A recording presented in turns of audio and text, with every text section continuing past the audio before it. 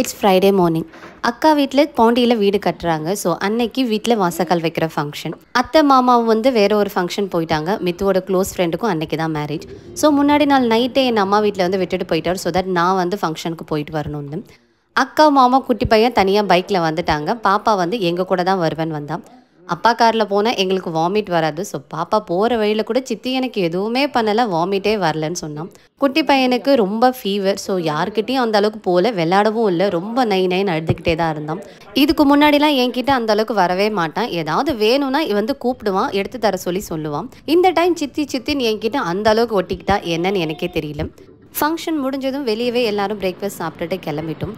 பசங்க ரெண்டு பேருமே எங்கள் கூடயே தான் அகெயின் வந்துட்டாங்க. காலையில் போகும்போது அக்கா மாமா கூட போனால் ரிட்டர்ன் வரும்போது எங்கள் கூட தான் வந்தாங்க.